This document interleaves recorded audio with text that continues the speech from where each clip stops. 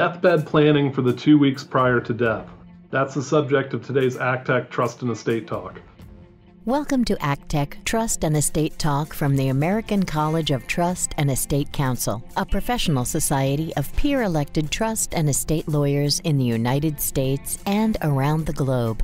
This series offers professionals best practice advice, insights, and commentary on subjects that affect our profession and clients. And now, our ACTEC Fellow host with today's topic. This is Travis Hayes, ACTEC Fellow from Naples, Florida. This podcast will center on a scenario that none of us desire to confront, yet one for which we must be adequately prepared. The moment when you receive news that a longtime client has just a few weeks left to live. Guest Ellis Pretlow of Norfolk, Virginia, will delve into both the prospects for planning and the potential traps that could arise in the final two weeks of a client's life. Welcome, Ellis. Thanks so much. So, like Travis said, I'm really going to be talking about the two weeks immediately prior to a client's death. And I think a lot of us have gotten that kind of call from a family member saying, What should we do right now? What can we do? What should we be thinking about? And really, this podcast could be a treatise on all of estate planning, right? You should be running through all these thoughts in your mind of what are the things that are outstanding? What possible things could we take advantage of? What might we not want to do? But really, I want to touch on five thought processes that I think are important during this time. Some may seem a bit obvious, uh, but I always think they're worth talking about. The first is information gathering. And really, you need to start preparing for this long before this two weeks prior to death. And in preparing for this presentation, I've been talking to a lot of colleagues about the importance of preparing summaries of trust, state planning documents, entities, any related documents actually in the moment when you're doing them. So you can imagine a scenario where a family member calls you and says, My family member is about to pass away. Should I exercise that swap power in the IDGT that holds the promissory note? And you think, What IDGT? What promissory note? That was 13 years ago. So having all that information kind of at your fingertips, being ready to say, Yes, here's the power that you have, here's what we should do here's the basis of the assets in this trust. And having all of that in a file kind of ready to exercise and think about is going to be really important during this time period. That also reflects on the importance of the information flow in law firms and also with the client's other professional advisors. So, thinking about the tax attorney, the estate planning attorney, the corporate attorney all working together because they do know discrete pieces of information or maybe a partner in a law firm who drafted that IDGT has retired you know and trying to get that information from them later on is going to be much more difficult than if you had these kind of executive summaries to begin with. Obviously an asset and liability sheet with types of titling you know getting all of that information now so that you're prepared for the two weeks after death. And finally in the world now thinking about digital access passwords, cryptocurrency wallets, um, anything that the decedent has exclusive access to that's going to be much more difficult for a fiduciary to get after death. And the one thing here I recently have had a personal experience with is passwords to iPhones. So, thinking about digital devices, even if your client has every single online account and password written on a sheet in front of them, if they have dual factor authentication with their phone, which most bank accounts do now, anything like that, if you can't get into their phone, there's very little you can actually access. So just trying to gather all of that while it's still a little bit easier prior to someone's death. The second thing to think about is general probate avoidance. And that's something that is probably the first thing that goes through every estate planning attorney's mind but really thinking about some of those sneaky assets that might not come to mind right away promissory notes, entity interest, accrued but unpaid interest from trust. QTIPs are a big one um, in that case. And also any retirement home refunds that may be coming back into a client's estate.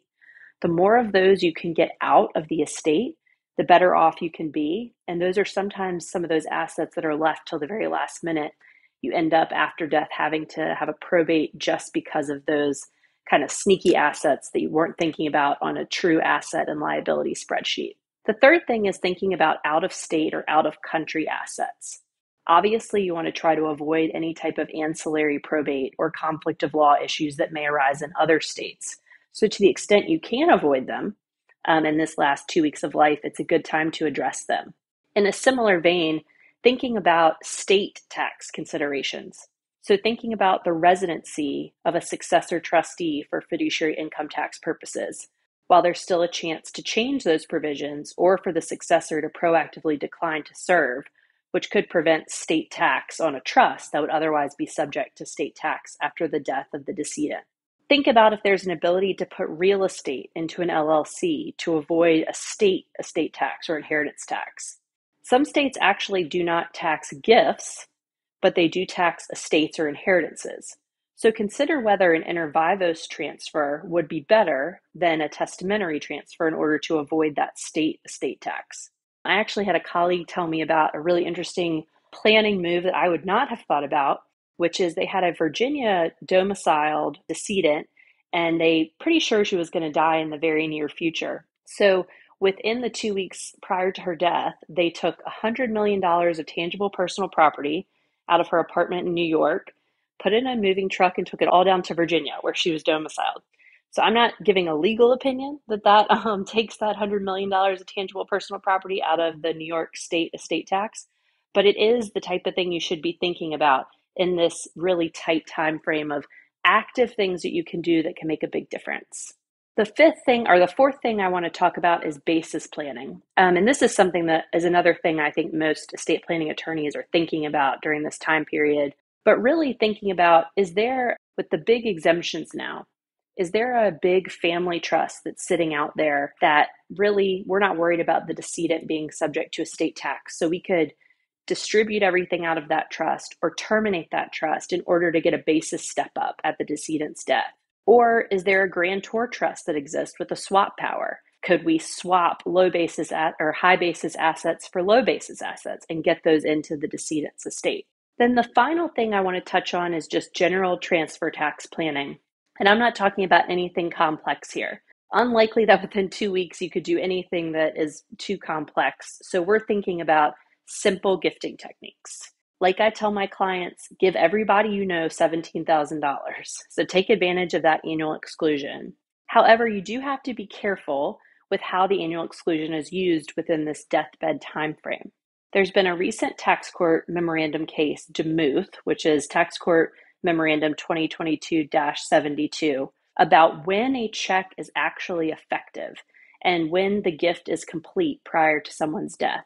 So, cash is always, we know that's complete when you deliver it into someone's hands.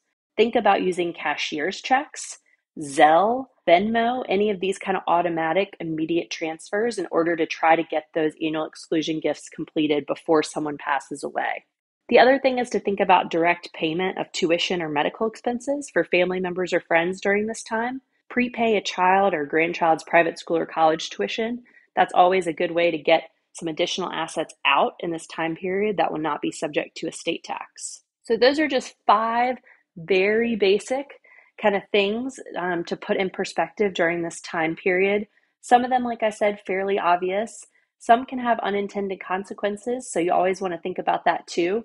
Not to do anything in this last minute period of time that's going to in any way substantively affect an estate plan that may throw something off that otherwise was going to work before you did it. So don't rush to do anything, but just kind of tick through your mind a couple of points on a checklist about something that you could do that could greatly help your client or something that you should pose to the family as a possibility for an easier estate administration after the decedent has passed away. Thank you, Ellis, for discussing deathbed planning for the two weeks prior to a client's death. We will continue this discussion in our next podcast, which will discuss considerations for the two weeks following the death of a client. Thank you for listening to this episode of ACTEC Trust and Estate Talk, the podcast series about wealth planning matters from the American College of Trust and Estate Counsel. To find an ACTEC lawyer near you, visit actec.org. Please subscribe to this series and leave us a rating or a review.